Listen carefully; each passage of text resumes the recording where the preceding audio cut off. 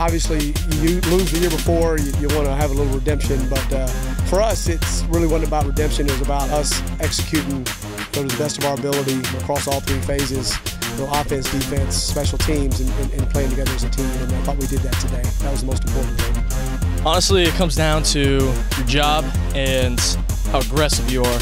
Um, our front four up top, the th three guys to the left of me, uh, they're just aggressive and freaks, honestly, on the field, especially Jers, number 30, captain. And we set the tone up front because, you know, that's where the ball is.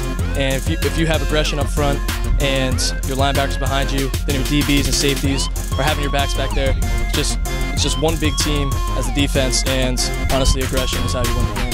The biggest thing was leading up to this week, our coaches really prepared us. We knew going in what we needed to do. And then when it came down today, it was just all about executing, and we were able to do that. I've been saying all year we got something to prove, and each week it's we're just trying to make a statement. And, and today we're able to come out and do what we needed to do and get that W. But this isn't the end. We got a championship game to play for, so this is just another piece in the puzzle. Uh, we controlled the trenches for the most part, uh, both both sides of the ball. Our offensive line and our defensive line, I thought, played brilliantly today. Uh, we really slowed down their rush. You know, they had a really good running back, and we kept him in check. Um, good quarterback as well, we kept him in check. Uh, and then offensively, we gave you know Keegan, our quarterbacks, uh, you know a lot of time to throw.